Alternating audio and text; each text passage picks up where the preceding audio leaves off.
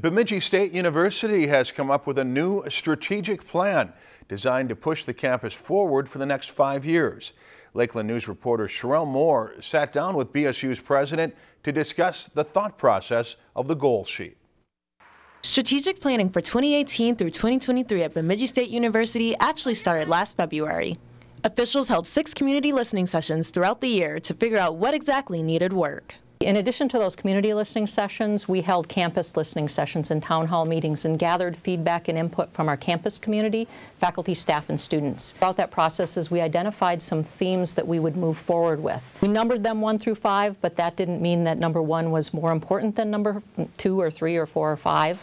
There are five priority areas in the strategic plan.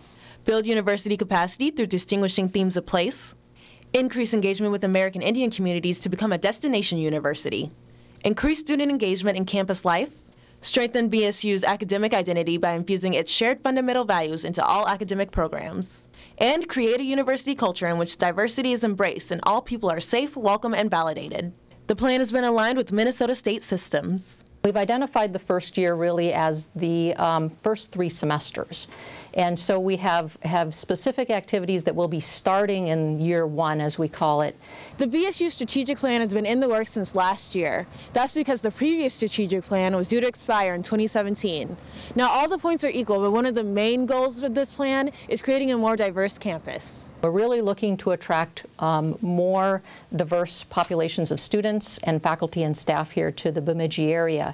And as you know, it's very critical um, not only to have the support here on the campus community, but also within the greater Bemidji community. One administrator will be over each of the five priorities. Dr. Hensrud says the ultimate goal is to create a stronger campus. The reason that you engage in strategic planning is to make the institution stronger and to really set a course or, or a direction for the institution. You come in and you, you analyze um, what you might be able to do differently to improve the institution and to really focus on the success of our students. Reporting in Bemidji, Sherelle Moore, Lakeland News. The implementation of the strategic plan began on January 1st.